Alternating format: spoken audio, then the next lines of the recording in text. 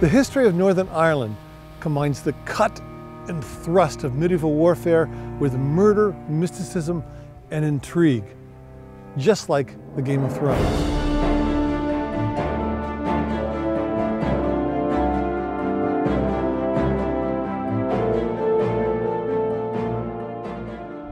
See this blood here? This is where Ned Stark beheaded the Night's Watch deserter. Dark Hedges um, on the Bregagh Road where Arya Stark and Robert Baratheon's illegitimate son board the cart on Anashuses the King's Road.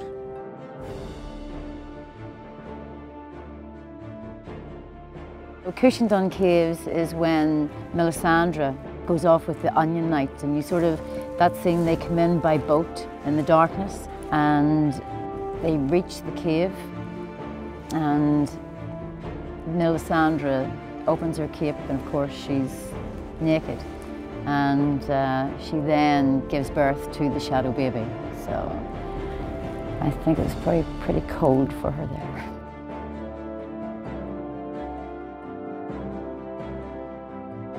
In Ballintoy, there's a picture of Theon Greyjoy, and basically the Iron Islands is where Theon Greyjoy comes back to get support from his father to help Robb Stark. Uh, that's where he meets his sister, and uh, they go off on a horse back to the family home where he hadn't been in many years. Larrybane is an old lime quarry and it was used in several scenes. Uh, one of the most important ones was Brienne of Tarth defeating Flower Knight in a battle and um, that's where she then becomes the king's sort of right-hand lady.